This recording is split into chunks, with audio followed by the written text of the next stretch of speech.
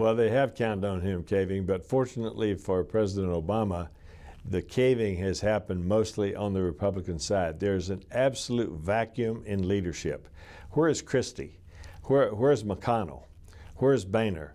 Where is Ryan? Where are the real supposed leaders of the Republican Party right now when Ted Cruz is out there taking over leadership of the party? Cruz has got a brilliant strategy for Cruz. Cruz has five years to his next election. He's gained the support of every single one of the uh, big money people. All the big right wing people are behind him uh, very strongly, and you see you, you're hearing nothing from the leaders.